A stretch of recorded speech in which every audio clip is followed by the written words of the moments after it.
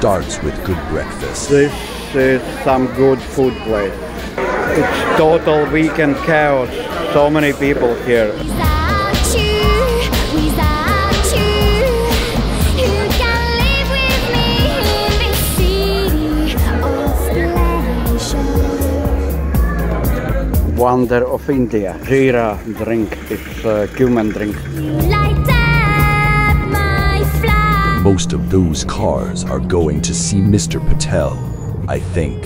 fears come tide who feel ashamed without you, without you, my dreams without you. Ticket for Indians, 50 rupees. Ticket for foreigners, 900 rupees. Indian on the bike, 150 rupees. Foreigner on the bike, what? Is it for free?